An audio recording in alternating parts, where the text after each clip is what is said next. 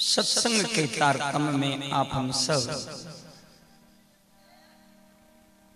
श्री राम कथा के द्वारा अपने मानव जीवन की सुंदर घड़िया, सुंदर सुखद पुष्पित फलित बनाने जा रहे हैं। मन बुद्धि को पवित्र करने के लिए आइए दो मिनट हरि नाम चिंतन करें। श्रद्धा और भाव से।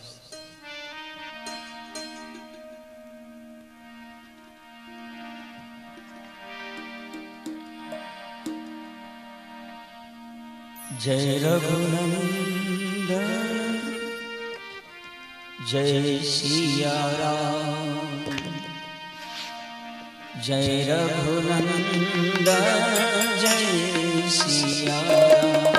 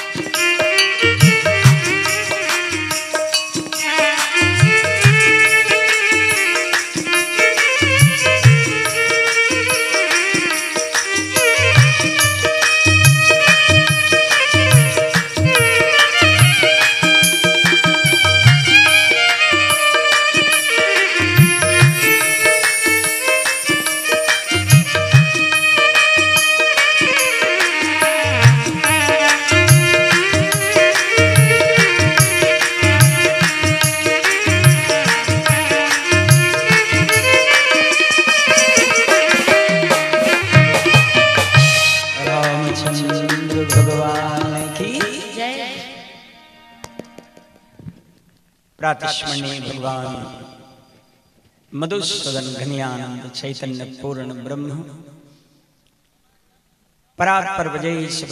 वाके विहरि के चरणों में दंडवत करते हुए आदि शक्ति जगत जननी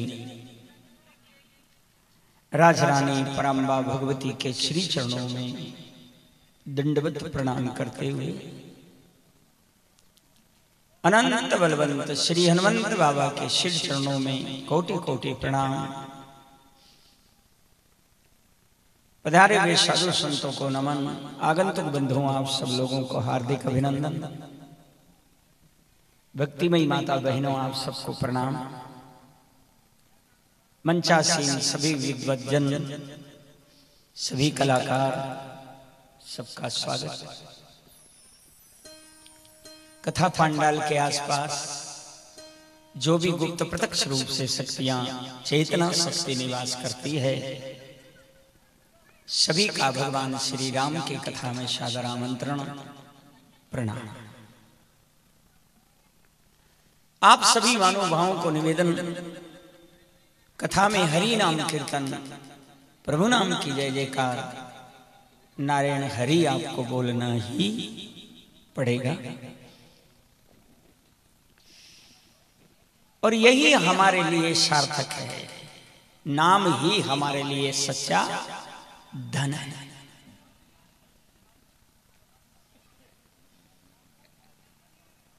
नाम जपत कुष्टी बलो, न चुई चुई चोवे चाम। सुंदर काया किस काम की, जा मुख निकसत नहीं राम। काया काम प्रधान नहीं होना चाहिए, काया राम प्रधान होना चाहिए। संसार में जन्म लेकर अगर वास्तविक आनंद लूटना है, जीने का आनंद अगर लेना है तो काया राम प्रधान हो जाए काया के साथ मन बुद्धि भी। हमारा मन रति प्रधान हो, रति राम प्रधान हो। फिर भजन का आनंद आए। और फिर जीने का आनंद आए। कलयुग में तो केवल नाम का ही आधार है हम तो बहते जा रहे हैं मझधार में। काम क्रोध मद लोभ मोह आसक्ति की ये नदी बह रही है। अभिमान की मझ धारा में बहते चले जा रहे हैं हम लोग।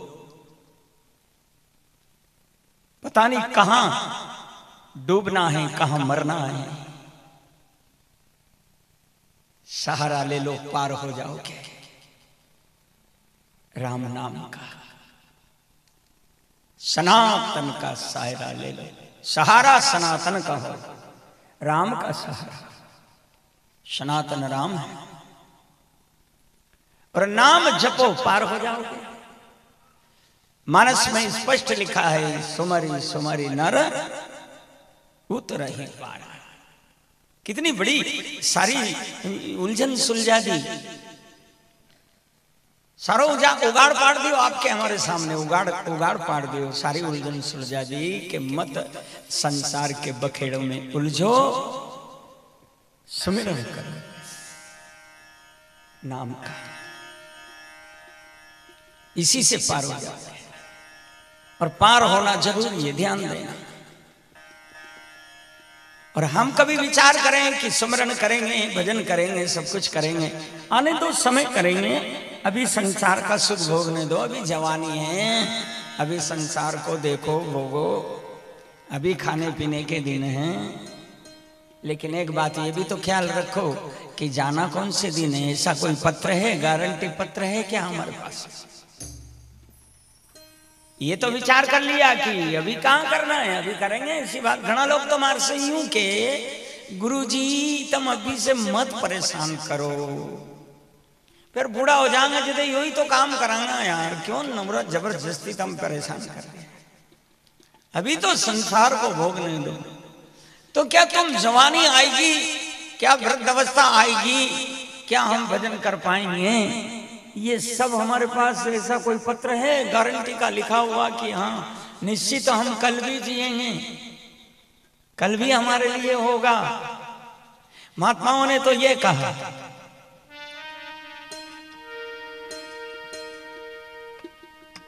क्षण भंगुर जीवन की कलिका।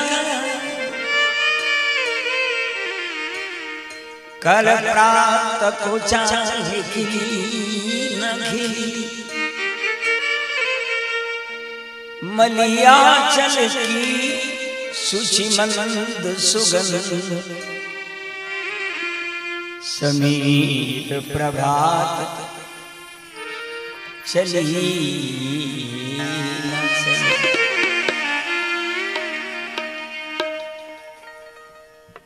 कलिकाल कुठार लिए फिरता।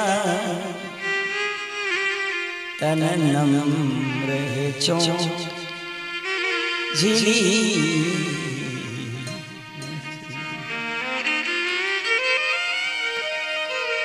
भजले हरिना हरि रसना भजले हरिना हरि रसना। फिर अनंत समय हिली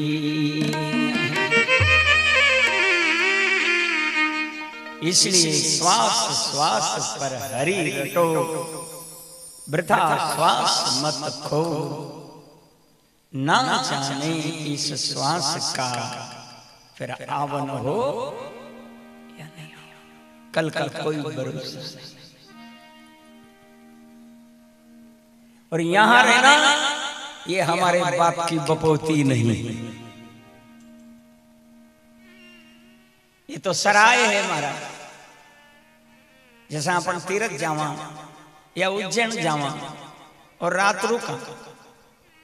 तो एक रात के लिए धर्मशाला बुक करा कमरों चौबीस घंटे के लिए हम धर्मशाला का कमरा बुक करते हैं और रात भर वहाँ विश्राम करते हैं। सुबह वो हमको छोड़ना पड़ता है। छोड़ देते हैं ना? चल देते हैं वहाँ से। क्यों चल दिए वहाँ से? इसलिए कि वो किराए का था, वो हमारा घर नहीं है।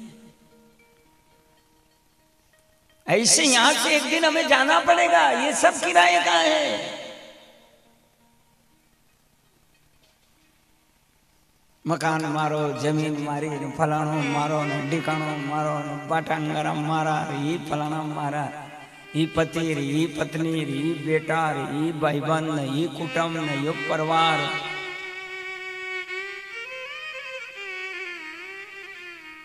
सब छोड़ के जाना पड़ेगा। इसी तरह ये संसार भी एक सराय है, हो। इस बात को बिल्कुल सामने रखो।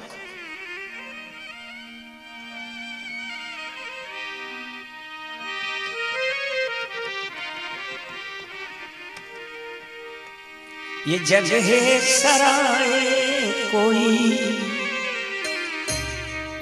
आए, कोई जाए। जोगी वाला फेरा। सवेरे जाना। रात भर का ही डेरा। सवेरे जाना।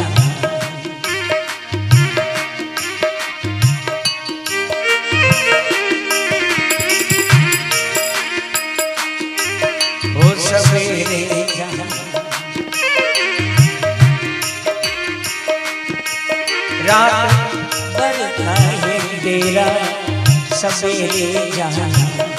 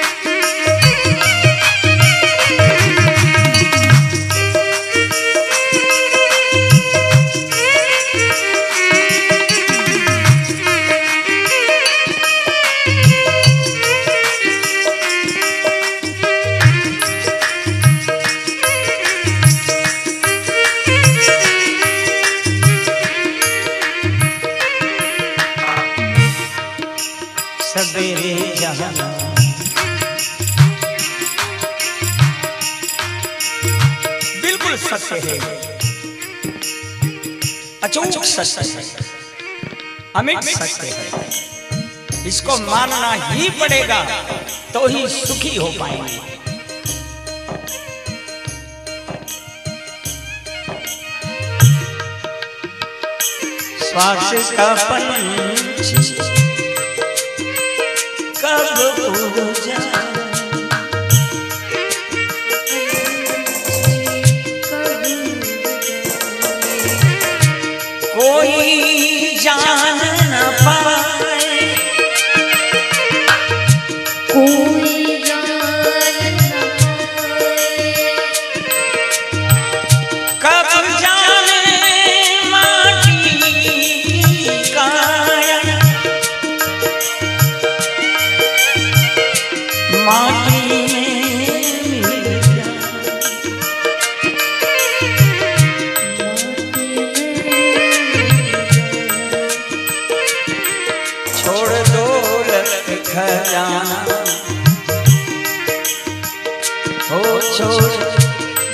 दौलत खजाना सवेरे जाना।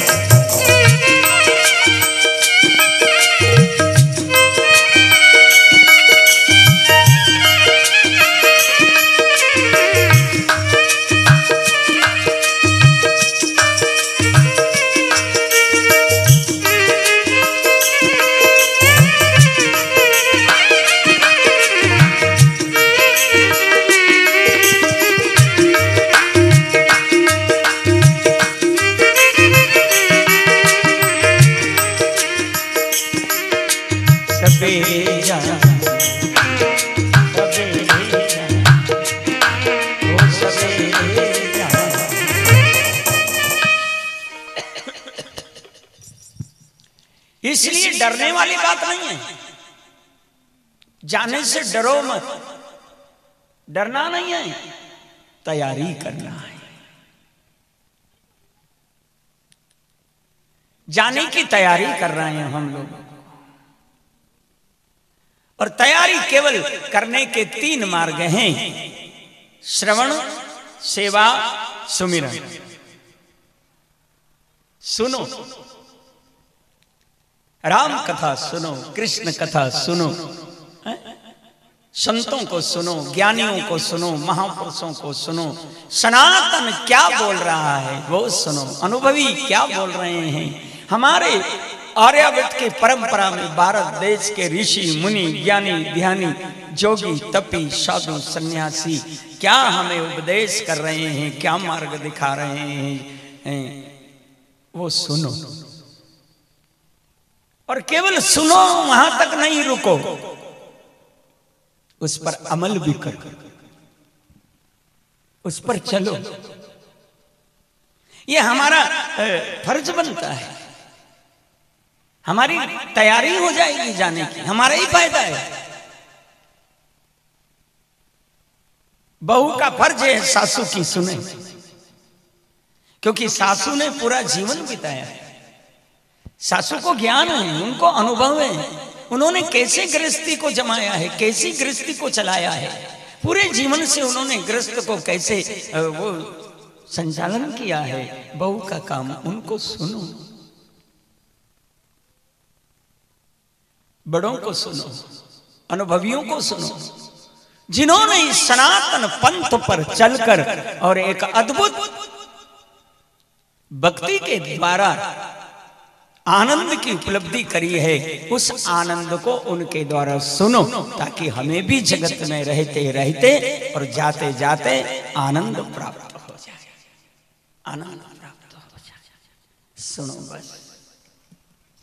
कथा सुनो, वेद वाणी सुनो, संत वाणी सुनो, गुरु ग्रंथ सुनो सनातन की बात सुनो, देश धर्म की रक्षा करने के लिए अगर कोई आपको देश पर समर्पित होने की प्रेरणा दे, उसको सुनो। सुनना हमारा काम है और सुनने के बाद थोड़ा उस पर चलो।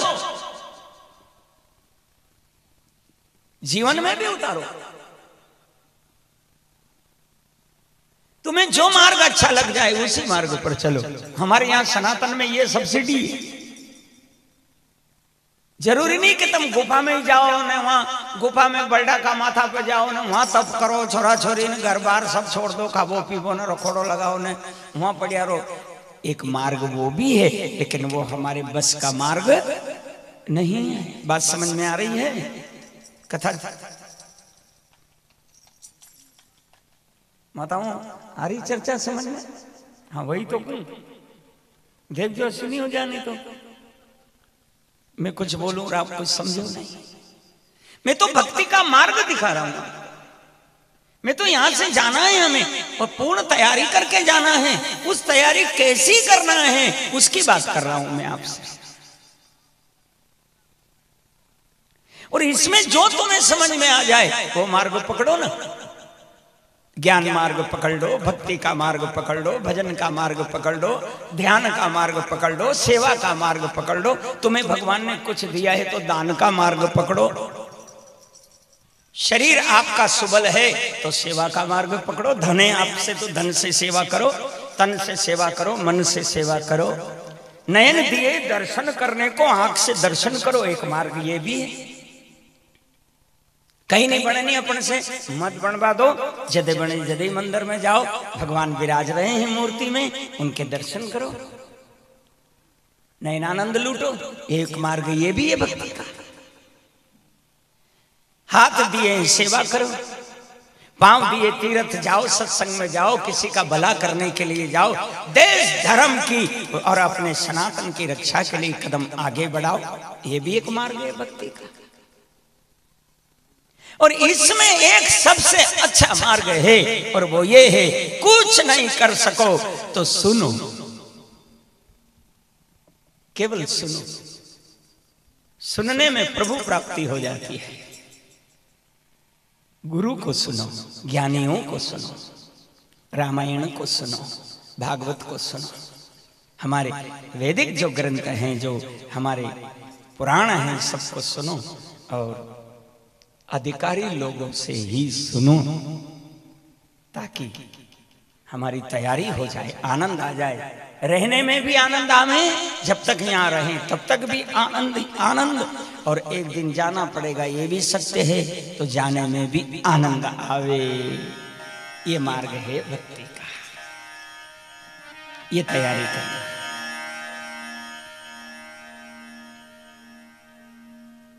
अब सुनने की अगर बात करी तो गीता का एक सिद्धांत रखूँ आपके सामने कसा सुनो। सर्वधर्मान परितजम महामेकम शरणम बजा जितनी देर भी गुरु के सामने बैठो, जितनी देर भी सत्संग में बैठो, जितनी देर भी समागम में बैठो, जितनी देर भी कथा में बैठो, उतनी देर कम से कम सारे संसार से मन को हटाकर बैठो, तुम्हारा काम बन जाएगा। सुनने का आनंद आ जाएगा। दोनों चीज़ बन जाएगी। अर्थ भी बन गया और धर्म भी बन गया और तैयारी भी हो गई। बोलो, नारायण जैसे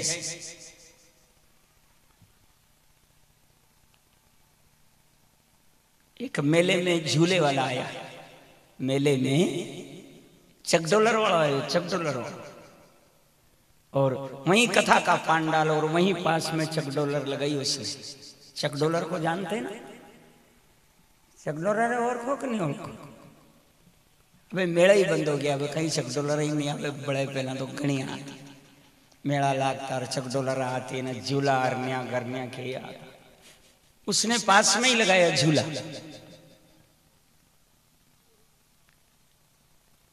इधर कथा चले, उधर उसका झूला चले। लोग पैसे दे रहे हैं और झूले में बैठ रहे हैं। बारह बजे से कथा चलती है, बारह बजे से उसका झूला चलता है। इधर कथा भी वो सुन रहा है और उसका झूला भी चल रहा है। उसकी इनकम आमदनी भी हो रही है, उसकी दाड़की भी चल रही है और कथा भी सुन रहा है और दाड़की भी हो रही है। दोनों काम उसके बन रहे हैं। सुनो तो दोनों काम बन जाते हैं। उधर भी काम कर रहा है, उसका झूला भी मिस नहीं हो रहा है। लक्ष्य पे बिल्कुल और लक्ष्य कथा में उसका। उसका लक्ष्य बिल्कुल ध्यान उसका कथा में है और अपना झूला भी वो कहीं से किसी प्रकार से मिस नहीं होने दे रहा है, गलत नहीं होने दे रहा है, किसी से कम ज़्यादा पैसे लेन देन भी नहीं कर रहा है, दोनों काम बन रहे हैं। ऐसे दोनों काम बनाने की कोशिश करो, ये दोनों काम बनेंगे, लेकिन कब बनेंगे, जब हम इस प्रकार से सुनेंगे तो। अब लोग कथा में तो आ जाए घना लोग आवे कथा में तो मैं घना देखूँ, कथा में भीड़ देखो, अभी सुल्तानिया गाँव में कथा चल रही थी अपनी, चार दिन पहले। कितनी विशाल भीड़ विशाल भीड़, जहाँ तक नज़र पहुँचे, पब्लिक पब्लिक। तो कहीं सब सुन, भाई सुन वाला आया था कहीं। कई जलेबी खा वाला भी था हाँ। मोबाइल तो वाला भी था उनमें बोलो नारायण जन है सभी तरह का लोग आवे, जी, कथा सुनवा में, अपन सोचना कि जतरा आया सब नेऊ साहब कथा ही सुन लेगा था नेऊ बीमारियाँ जागो, सबके मुश्किल है। वो तो हज़ारों में कोई विरला होता है। कुछ गिने चुने लोग होते हैं, मेरे बेन भाई, जो कथा को, गुरुवाणी को, ग्रंथवाणी को सुनते हैं। और उसको ख्याल में रखते हैं। एकाग्र मन कर, मन करके सुनो। सुनना ही पर्याप्त है हमारे लिए। सुने वो भी परम पद प्राप्त कर लेता है, गावे वो भी परम पद प्राप्त कर लेता है। और वो भले पैसे के लिए गा रहा है, पेट पालने के लिए गा रहा है, लेकिन लेकिन, गा तो रहा है ना। गाते समय तो उसका चित्त परमात्मा में पूर्ण शरणागति के साथ है और पूर्ण शरणागति से वो छवि के साथ गा रहा है। गोविंद रीझ जाता है। रीझ गया, दोनों काम बन जाते हैं। अर्थ भी बन गया और काम भी हो गया और उसका धर्म भी हो गया। तीनों काम। बच्चे बच्चियों का भी गुजारा हो रहा है, परिवार का भी गुजारा हो रहा है, और उसकी कला की इंजॉय उसकी कदर भी हो रही है, और उसके गाने से उसकी वाणी पवित्र हो रही है, राम नाम गाने से वाणी पवित्र हो रही है, और शब्द प्रभु के कान में पड़ रहा है, प्रभु रीझे और मोक्ष प्राप्त हो जाता है। ये बिल्कुल अचूक सत्य है। मैंने अपने गुरु महाराज से सुना कि बेटा यही मार्ग बहुत बढ़िया है, भक्ति का। ये छोटा मोटा मार्ग नहीं है। कितना परिश्रम आदमी घर से करता है, काम का जल्दी उठना, स्नान करना, अपना जो भी कुछ थोड़ा नियम है वो किया, गाड़ी संभाली हो समय से पहुँच रहे हैं महाराज, ठीक ग्यारह बज रहे हैं, साढ़े ग्यारह बज रहे हैं, मंच पर पहुँच गए हैं, हरि कीर्तन गा रहे हैं, ये क्या हो रहा है, ये सब कुछ सुधर रहा है। सुनने वाले के लिए भी वही हो रहा है। उसका सब सुधर रहा है। ये लोग भी, वो लोग भी। अर्थ भी, काम भी, धर्म भी और मोक्ष भी। चारों पदार्थ चारों पदार्थ झूले वाले को जिस तरह मिल रहा है, ऐसे हमको भी मिल रहा है। पर ध्यान से सुनो तो एकाग्र होके सुनो तो। कथा में बैठिया बात, कहीं टेंट पे रहे हो तो कहीं यो खील को बोकर मिलो यो कहीं बढ़त होगा। ये पे रहे हो तो यो बजे वालों ने रहे हो लाकड़ी गसे आओ कहीं मुंडे मूंड चंत जावे तो कहीं कहीं बाटा बाटा कथा पल्ले पड़े। और जब कथा ही पल्ले नहीं पड़े महाराज तो फिर कैसे दोनों काम सुधरे हमारा? मुश्किल है, नहीं सुधर सकता। एकाग्र हो जाओ, बिल्कुल। पूर्ण शरणागति पूर्ण समर्पण। जितनी देर कथा में बैठो, उतनी देर तो जाए दुनिया भर में। वो भले तीन घंटे की कथा है, खाली दस मिनट भी तुम्हारा चित्त लग गया, आधा घंटा भी। एक घड़ी आधी घड़ी आधी में पुनी। आद तुलसी संगत साधु की हरे कोटि। अपराध सब निर्मल हो जाएगा, पवित्र हो जाएगा, बुद्धि विशुद्ध हो जाएगी, जीने का आनंद आ जाएगा। और मेरे बहन भाई, जाने का भी आनंद आ जाएगा, बोलो नारायण। जाने का भी आनंद लेना है। जीते जी का आनंद नहीं लेना है। वो जाने वाला भी करना है, वो भी तैयारी। तो आज राम कथा में मैं आपको एक बहुत बढ़िया कथा सुनाऊँगा। संवाद है राम कथा का। सुनने वाली बात चल रही है तो भगवान शंकर, काशी विश्वनाथ, बैजनाथ बाबा ओगरदानी, शाम्ब सदाशिव, एक बार त्रेता युग में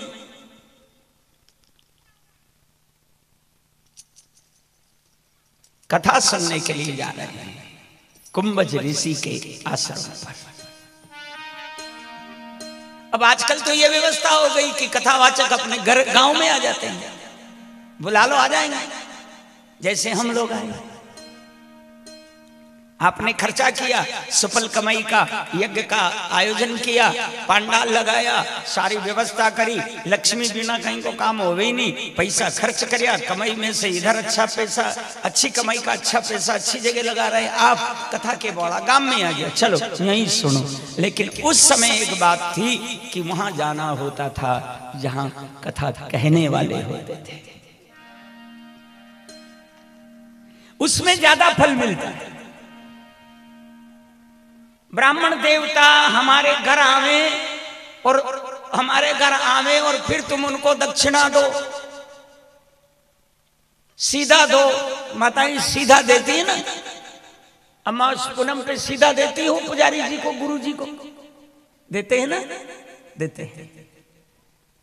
पर वो हमारे घर आए, फिर आपने दिया। तो उसका पुण्य तो आपको ज़रूर लगेगा। पर उसमें से माइनस हो जाएगा। क्या माइनस हो जाएगा? उनके आने की मेहनत। वो तुम्हारे घर आए हैं, जब तुमने दिया है। और उनके घर जाकर आप उनको दोगे तो सौ का सौ परसेंट तुमको पुण्य उपलब्ध होगा। और वो आए घर में, फिर दो तो तो तो। हाँ हो सकता है, उसमें बंटवारा हो सकता है। मेहनत नहीं टेकी मेहनत। खुद जाओ। शंकर भगवान त्रेता युग, युग में कुंभज ऋषि के आश्रम पर कथा सुनने के लिए पधारे। और कथा सुनने भी कौन जा रहे हैं? ध्यान देना। ऐसे महादेव विश्वनाथ काशी बैजनाथ भगवान विश्वनाथ भगवान शाम सदाशिव जिनके लिए वेदों में यजुर्वेद में कहा गया त्रयंबकम यजामहे सुगंधिम पुष्टि वर्धनम उर्वारुकमिव वंदनान मृत्योर्मुक्षीयमामृतात् ऐसा महाप्रभु कुंभज ऋषि के आश्रम पर कथा सुनने के लिए जा रहे हैं, जिनको सब याद है। चार वेद, छह शास्त्र, अठारह पुराण सब जिनके कंठ में निवास करते हैं, राम नाम जिनकी जिव्या पर निवास करता है, जो स्वयं पूर्ण है। इस मार्ग में वो भी कथा सुनने जा रहे हैं। तो हमें तो कहीं याद नहीं है, हमें तो जाना ही चाहिए। हम तो एक दो चौपाई रामायण की याद रखा, एक दो बात भागवत की याद रखा। में भी हमें अभिमान पैदा हो जाए कि मार में तो सब ज्ञान बढ़े। रामायण जी जानू गीता जी जानू भागवत जी तुम्हारे कंठ में दरी यहाँ कहीं सुनू, सब जानू। तो ये अभिमान हो गया। एक दो बात से कुछ नहीं होता। जहाँ सब पूरा का पूरा जिनके कंठ में निवास कर रहा है, कथाएँ, राम कथाएँ, कृष्ण कथाएँ, पुराण सब वेद वो तो पूर्ण है, उसके बाद भी कथा सुनने कुंभज ऋषि के आश्रम पर जा रहे हैं। जाना चाहिए। ला काम छोड़ दो और कथा सुनने जाओ। गाँव में हो रही वही नहीं आवे लोग। जिनका गाँव में कथा करो नहीं, ये गाँव का भी नहीं सोच ले। ज़ोर कड़ो गोलियो यार बेवनी टेम पे आके। अब कहीं कथा सुनवा की बन रही कहीं लोग कहते हैं ना, सब काम छोड़ के स्नान करो। और सब कुछ काम छोड़कर पूजन करो। भगवान को प्रणाम करो, पूजन करो। कहीं नहीं बने तो दो अगरबत्ती लगा के दो हाथ जोड़कर भगवान से प्रार्थना करो, प्रभु, मैं आपकी शरण में हूँ, मारी लाज राग जो, ये मंत्र गण। ये भी मंत्र कमज़ोर नहीं है। प्रभु मैं आपकी शरण में हूँ, गुरुदेव। हे गोविंद, मैं आपकी शरण में हूँ, मारी लाज राग जो मैं आपका हूँ। बस अത്ര बड़ो मंत्र गणो। यही सब कुछ कर।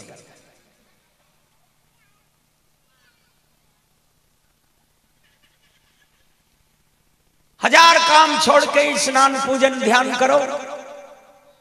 लाख काम छोड़ के भोजन करो। ठीक है? लाख काम छोड़ दो, भोजन करो। क्योंकि शरीर रक्षती धर्म, शरीर की रक्षा करना भी हमारा धर्म है और शरीर काय से चलेगा। भोजन से। ठीक है? अन्नमय प्राण। खाओगा तो शरीर चलेगा बोले जतरो बा, उतरो खाओ। बीमार हो जाए आदमी, फिर समाचार ले बड़ आवे। भाई और आवे भी पूछे, कहीं कहीं खावे के नहीं खावे कहीं नहीं खावे, ओ भाई का लादो कोड़ियो खाए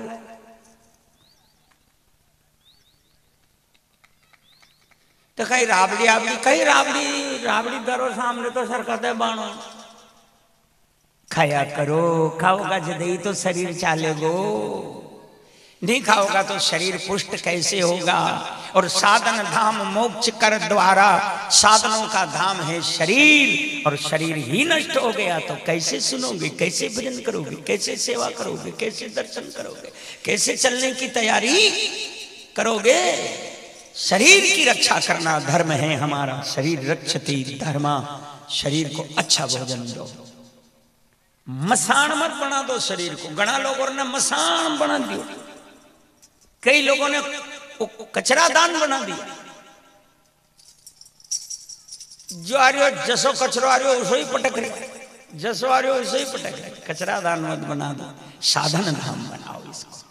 सात्विक भोजन करो अच्छा भोजन करो, पवित्र भोजन करो। घर में भोजन भी पवित्र बनाया करो।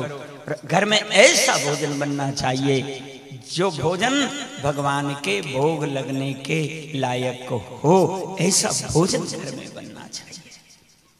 और ऐसा भोजन जब आप करोगे तो आपका मन भी पवित्र होगा, आपका शरीर भी पुष्ट होगा, मन पवित्र होगा तो भजन में लगेगा, शरीर पवित्र होगा, सेवा में लगेगा, सिमरन में लगेगा। इसलिए हज़ार काम, नहीं, लाख काम छोड़ के भोजन करो। ठीक है? और अंतिम में एक बात आपको निवेदन करूँ मेरे बहन भाई के करोड़ काम छोड़ के कथा सुनो। बोलो नारायण। सब करोड़ काम छोड़ दो कथा सुनो। ऊँट तो अल्डाता ही लदेगा ये तो पुनः जाल गला में पड़ी है नहीं अपने। लापा लापा पेर रात का उठ रहा और पेर रात तक धंधो कर रहा और कहाँ को नहानो कहाँ को धोनो चींतरा में खरिया पड़ गया। लाभा लाभा लाभा लाभा यो खा लू, यो ओढ़ लू, यो पेर लू, वहाँ सड़क में चल जाऊँ, ना वहाँ से पड़ जाऊँ। ये तो मसान तक भी तुम्हारे, हमारे सबके पीछे पड़ा हुआ है। पर इसमें से समय मिल गया है, और कोई ज्ञानी गुरु आ गया है हमारे आसपास में, और कहीं भागवत कथा राम कथा हो रही है तो भाई बहन करोड़ काम छोड़ो, तीन घंटा के लिए कथा सुनो।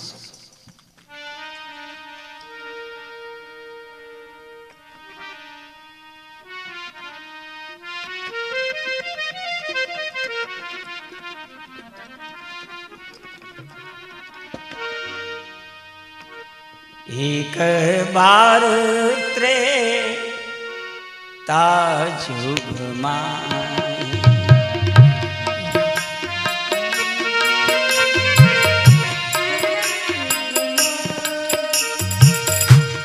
एक बार त्रे ताजुग माई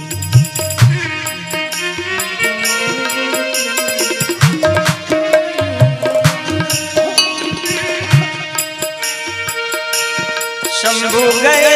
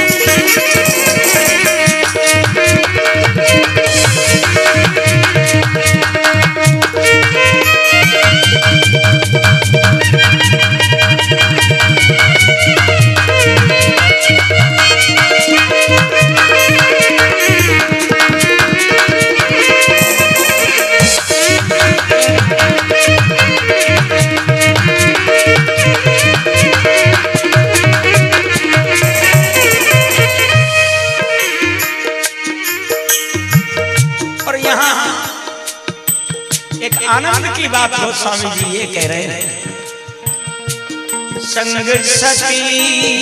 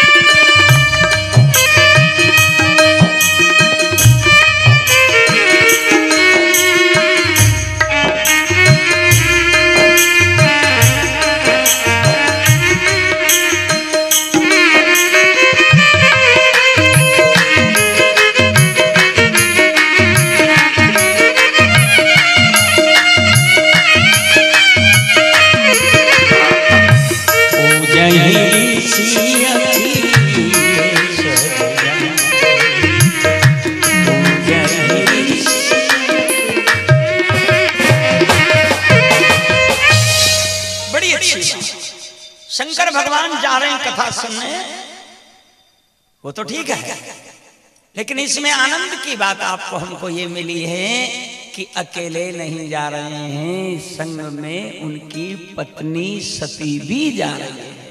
दोनों जा रहे हैं। कितनी प्यारी बात है। जाया करो। और मैं तो कहूँ, जो आयोजक लोग होते हैं ना, उनको भी प्रणाम करो। जो गाँव है, जो इस कथा के प्रति धन खर्च कर रहा है, उसको भी नमस्कार। इसके प्रति जो अपनी कमाई का हिस्सा दे रहा है दान दे रहा है उसकी भी बलिहारी है। जिस गाँव में हो रहा है उस गाँव की बलिहारी है। जिस जगह में हो रहा है वो जगह कोई साधारण जगह नहीं है। त्रिवेणी है वो उसको भी प्रणाम कर। बड़े भाग से ऐसा मौका आता है जहाँ कथा होती है रोज जहाँ कथा होती है वो जगह कोई साधारण जगह माने हम? मेरे बहन भाई वो तीर्थ नेमी सारण्य है। कथा तीर्थ में ही होती है। बिना तीर्थ के कभी कथा होती नहीं। और जहाँ कथा का आयोजन होने का निर्णय होता है जहाँ राम कथा आने का निर्णय होता है कृष्ण कथा आने का निर्णय होता है वहाँ तीर्थ सकल तहां चली आवही। सब तीर्थ वहाँ पहले से आ जाते हैं। अब गुलखेड़ी में कथा हो रहा है। ये पांडाल स्कूल का। स्कूल का पांडाल नहीं रहा, तीर्थ हो गया है। तीर्थ सकल तहां चलिया। यहाँ तीर्थ आते हैं मेरे बहन भाई कथा सुनने। और सकल तीर्थ आते हैं, और इसमें एक बहुत बढ़िया ऊँची से ऊँची बात निवेदन करूँ कि हनुमान जी महाराज आते हैं कथा। बजरंग बली आते हैं। बागेश्वर बालाजी महाराज आते हैं। और वो कथा सुनते हैं। उनका नियम, जहाँ भी कथा होगी, राम कथा हो, कृष्ण कथा हो, जो भी कथा हो, सब जगह हनुमान जी जाते हैं और कथा सुनते हैं। तो हम लोग जो कथा में आते हैं ना, हमें ये बात पहले से ध्यान में रख के आना चाहिए कि वहाँ हनुमान जी भी हैं, वहाँ राम की कथा हो रही है और हनुमान जी भी है, और जहाँ राम का कीर्तन हो रहा है, वहाँ राम जी भी अनिवार्य रूप से है। इसलिए तो हो रहा है। इसलिए तो हो रहा है। और हम व्यास जी के अंदर व्यासाय विष्णु रूप आए। अब आप पूछो महाराज मेरे से कि आप कह रहे हो कि राम जी वहाँ हैं, कहाँ हैं? नज़र तो आते नहीं। तो हमारा शास्त्र कह रहा है, व्यासाय विष्णु रूपाय, व्यास रूपाय विष्णवे नमो ब्रह्म निधये, वासिष्ठाय नमो नमा। जो व्यास कथा कह रहे हैं, वो विष्णु नारायण का ही रूप है। उसको नारायण मान लो। वो नारायण है। व्यासाय विष्णु रूप आए व्यास कथा कहने वाले ब्राह्मण देवता विष्णु का ही तो स्वरूप है। वो यहाँ है। और पता नहीं, हम हमारे हनुमान जी महाराज बड़े विचित्र हैं महाराज। वो कहीं ना कहीं विराजमान ज़रूर है। क्योंकि उनको कथा सुनना है, उनको किसी से कोई मतलब नहीं होता। उनको क्या लेना और क्या देना? अपनी फकीरी में जीते हैं, अपनी फकीरी में मौज में रहते हैं मेरे हनुमान जी महाराज, और वो किस रूप में कथा में विराजमान होते हैं, किसी को पता नहीं, पर होते ज़रूर है।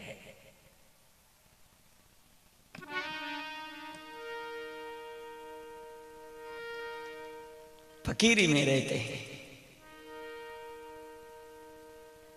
ऐसी जगह अकेले मत जाओ। दोनों जाओ।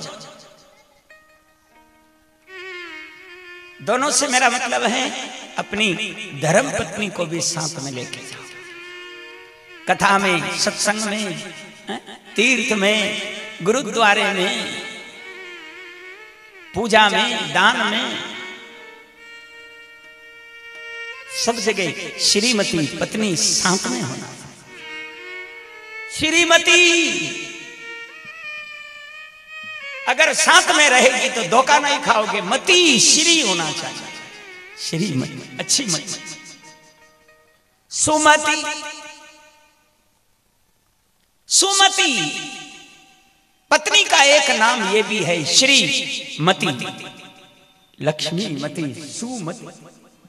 सुमति से काम करो, वो काम सरे चढ़े। और कुमति से अगर काम करो वो काम तो मो सरे चढ़ तो आज तक नज़र नहीं आयो। जैसे श्रीमती है, साथ में राखो। पूजा अपन करते हैं। तो आचार्य जी कहते हैं, साहब, आप अकेले पूजा नहीं करोगे, आपकी धर्म पत्नी जी को साथ में लाओ। जब दोनों पति पत्नी मिलकर पूजा करोगे तो पुण्य मिलेगा, फल मिलेगा। समानतम चढ़ाओ बोले सब। रोड़ी गुलाल, अबीर, अगरबत्ती, पैसा, फूल, दक्षिणा, जो भी चढ़ाना है, वो आप ही चढ़ाओ। पर तुम्हारी श्रीमती धर्म पत्नी तुम्हारे हाथ को हाथ लगा देगी, बस। तुम्हें पुण्य मिल जाएगा, उसका फल मिल जाएगा, और पूजा जिनकी कर रहे हो, वो तुम्हारी पूजा को स्वीकार कर लेंगे। पूजा में भी में रहना चाहिए। दान दो दान दो, वहाँ भी पत्नी जी साथ में होना चाहिए। दो ही मनक की रजामंदी हो दो ही मनक सूद बाँध लो दो ही को मन मान जावे कि हाँ दे दो, मन खान गाँव दे दो ग्यारह सौ रुपया दे दो दे दो तुम तो दे दो। और बोले, पाँच किलो ज़्यादा दो, असा दो ही सतनो बाँध लो, फिर दान दो। बिल्कुल मैं आपको एक बहुत बढ़िया नैतिक बात निवेदन कर रहा हूँ आप, ये तैयारी की बात निवेदन कर रहा हूँ मैं तो आपको दान में भी पत्नी साथ में होना चाहिए। भजन में भी, अपने घर में बैठो थोड़ी देर, अगर आपके पास समय है समय है तो कुआ बावड़ी पे ही देख लो अंदाज कि हाँ बस यहाँ समय मिल गया आपने को थोड़ा। बस छाया में बैठ जाओ, दोनों भजन करो थोड़ी देर, दस, बीस, पच्चीस, पचास मिनट, जितने मिनट समय मिल जाए। एक घड़ी आदि घड़ी आदि में पुनी आध दोनों साथ में होना चाहिए। पत्नी, भजन के समय आपके साथ हो, ताकि आपका चित्त भागेगा नहीं, तुम्हारा मन नहीं भागेगा, क्योंकि परमेश्वरी आल आज रहे गणई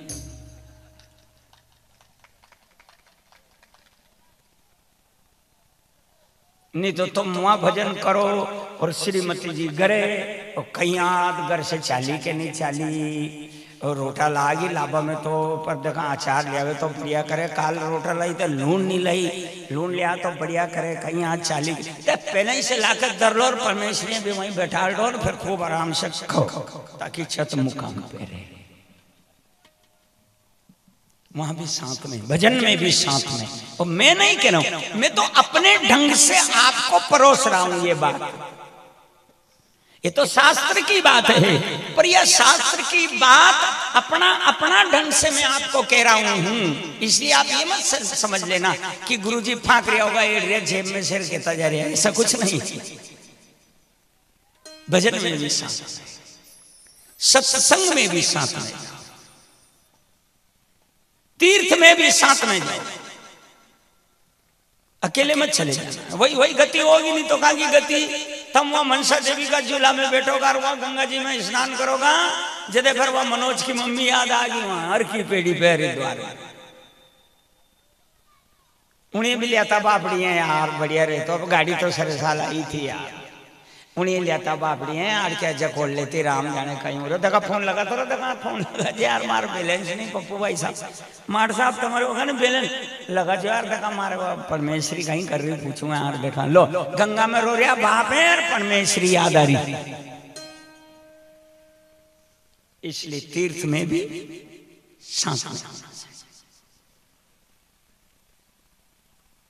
ठीक है? कथा में भी सांस रिश्तेदारी में जाओ। हो सके तो साथ में जाओ दोनों। नहीं तो भी हमारे रिश्तेदार पूछेगा, एकले आ गया यार एकदम यही जी एकला आ गया यार, बयान जी लेता, सब मल लेते, यहाँ हरिधन हो गया, समाचार बतर हो जाती, हो जाता, वो हो जाता। अरे लिया तो पर अब मारे यार, एक वो गा को सो चक्कर बड़े। वो कई आज से दूध दे, चक्कर यो है यार। श्रीमती साथ में होना चाहिए। कथा में भी पर एक बात उजागर और करूँ आपके सामने कि तीर्थ में जाओ तो पत्नी को आगे रखो, तुम पीछे चलो। ठीक है? आगे आगे तुम मत चलो।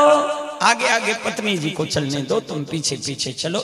रेल में, मोटर में, ऑटो में, जिस वाहन में भी बैठो, उस वाहन में पहले उनको बिठाओ, बाद में तुम बैठो, खतरा नहीं होगा। क्योंकि रेल ज़्यादा देर रुकती नहीं है। तुम तो बैठ जाओगे, दौड़ के छड़ी छाट, आदमी अपन तो जदे लपक जावे, जदे दौड़ के छड़ जावे। अब बाई के गणे तो सत्रह लपिंदर रे बाप कतरा कतरी उनके गेले बुना जाल रहे। और ठीट की मिलाओ बुना जाल छींतरा समेट में नवरी नहीं रहे। अनंग को पल्लो, अनंग जमावे, अनंग को पल्लो, अनंग खांदा पे जमावे, यूँ जमावे।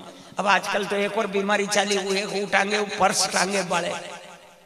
वो में कहीं कहीं बाटा दर है, कहीं दर है, वो में मोदी हुई ज्ञान। नाती तो मोटा टांग ले, कैसो लागे जानो कोई भी।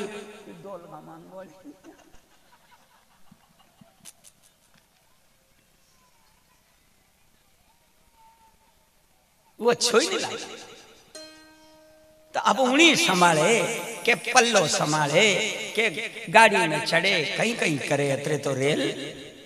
चल। हम तो रेल में ही रह गया ने। बल्डा वाली वहीं रह गई प्लेटफॉर्म इसलिए इनको आगे बैठा। और आप यूँ मत समझो माँ, बहन, के गुरुजी ज़ोर फांक रहे फांक नहीं रहे तो रामायण में लिखा है। और मैं आपको स्पष्ट करूँ राम जी जब वन में गए ना तो एक वाहन में बैठे। गंगा के पार होने के समय काय में बैठे भगवान राम। नाव में केवट की नाव में है ना? और केवट की नाव में जब राम जी विराजमान होया तो बेन सबसे पहले किनको बिठाया? प्रिया चढ़ाई, चढ़े रघुराई। पहले जानकी जी को नाव में विराजमान किया है, बाद में राम जी विराजमान होया। तो अपने जानकी जी है, पहला विराजमान करो रेल में, ऑटो में, रिक्शा में, बस में, हवाई जहाज़ में, जेमे भी यात्रा करो, उनको पहले बिठाओ। जानकी जी को पहले विराजमान करो।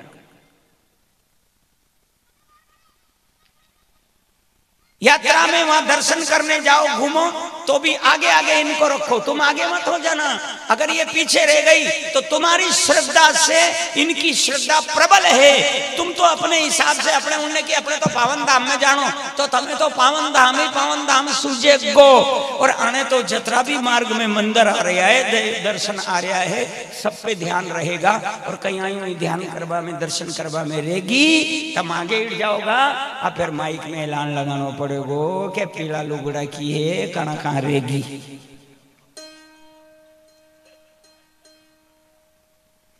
गलत तो नहीं बोल रहा इसलिए आगे रखो तड़ित रखो सामने रखो ताड़ना में रखो देख रेख में रखो पर एक बात और सुन लो ध्यान से यह और ज़बरदस्त बात है और ज़बरदस्त बात यह है कि रिश्तेदारी में जाओ, साथ में ले जाओ, पर फिर आगे मत कर लेना। फिर तुम आगे रहो और तुम्हारी श्रीमती पीछे रहना। नहीं तो फिर तुम प्रेम गुरु को दोष दोगे कि गुरु जी ने क्या किया? अगर पत्नी आगे और तुम पीछे चलोगे तो रिश्तेदार लोग के देंगे कि अपना ब्याई में दम नहीं है कहीं। पाछे पाछे के जतोरियो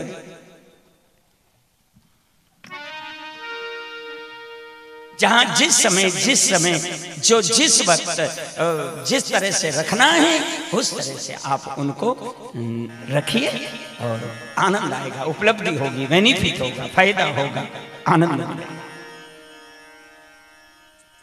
श्री महाकाल के साथ सती जा रही है। घना लोग तो पत्नी के के काऊ मूवी चालू कथा में देखा। हम्म, तो कहीं करे वहाँ कथा में? मारे आ जागो बेवान आगो तो। कभी कभी पत्नी कहती है पति को कि यो कोई बेटिया रो चालो। दो नाम कान पे पड़ेगा तो थोड़ो हणी हणी लाकड़ा को उद्धार हो जाएगो चालो। दो नाम परमात्मा का कान पे पड़ेगा तो थोड़ो आत्म कल्याण होगो चालो। कथा में ना गई बेटिया रो होटलिया पे हण में रोता फरो कहीं। पति देव के तू ही चल जा तारे आ जाओ बेवान मार नहीं सही यो भी कई जीवन है यार। कई जीवन जी रहा है समन्वय का जीवन हो, पति और पत्नी तो गाड़ी के दो पहिए। यानी गृहस्थ रूपी गाड़ी का दो पैडा है, पति और पत्नी दो ही पैडा गडार में चाले तो गाड़ी चाले साहब, तुम जहाँ ले जाओ, वहाँ पहुँचे, ने कदी एक पैडा को आवाण उखड़ गयो। अबे तो गाड़ी वेल रे ही नहीं जाने, पर मान लो बेरिंग चुरा गया, जैसे हमारे आज गाड़ी को बेरिंग चुरा गया। जनी गाड़ी का पहिया को बेरिंग चुरावे हो की चाल देखी तुमने? अब असा अगर वो पैडो चाले तो फिर उन्हें गाड़ी को बलो हुए कहीं ना कहीं का खाड़ा में पड़नी है। गृहस्थ की गाड़ी के दो पहिए, पति और पत्नी दोनों गडार में चले, दोनों, मारो मतलब दोनों का समन्वय से ग्रस्त आश्रम चले तो खतरा नहीं होगा, वरना यह गाड़ी बीच में ही फेल हो सकती है